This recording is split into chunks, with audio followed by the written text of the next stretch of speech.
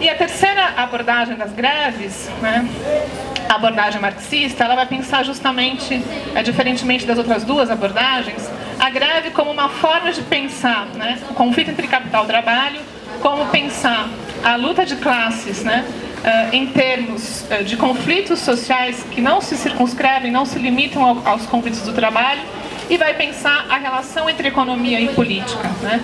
que é o que me parece o ponto mais interessante. Quer dizer, eh, a perspectiva marxista vai procurar evidenciar a dimensão política presente nas greves. Isso não significa que não haja diferença entre economia e política. Né?